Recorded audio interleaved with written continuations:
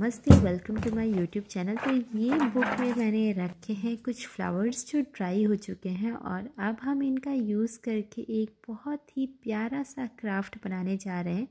तो इसको बहुत धीरे धीरे से निकाल लेंगे ताकि ये फूल फटे नहीं, क्योंकि अभी ये किताब में चिपक गए हैं। तो सारे फूलों को अच्छे से निकालने के बाद से हम इनको एक तरफ़ साइड पे रख देंगे और इसके बाद हमें चाहिए स्टिक्स तो मैंने चार लकड़ियाँ ले ली हैं और इसको ऊन से बाँध लिया है। आप किसी भी रस्सी या थ्रेड से बाँध सकते हैं और ऐसे ही दो पैटर्न रेडी कर लेने हैं। फिर चाहिए हमें सेलो टेप सेलो टेप को उस पर लगा करके एक साइड से उस पर फूल चिपकाते जाना है और दूसरे साइड पे भी सेम प्रोसेस करना है। यहाँ पे मैंने ये शादी का कार्ड काट करके यहाँ पे हैप्पी दिवाली लिखा है और इसको दूसरे साइड चिपका लिया है।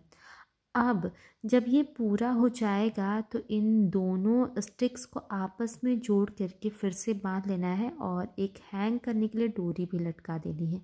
इसके बाद से हम इसमें ऐड करेंगे स्ट्रिंग लाइट चारों तरफ़ से बाँध लेंगे और देखिए इसका लुक कितना प्यारा आ रहा है। आप इसको ट्री पे हैंग करो, अपने घर की वॉल पे हैंग करो टेबल पे रखो या फिर कहीं भी सजाओ। ये बहुत ही अच्छा लगने वाला है। तो ऐसे ही क्राफ्ट को सीखते रहिए और चैनल को सब्सक्राइब कीजिए। मिलते हैं नेक्स्ट वीडियो में। Thanks for watching.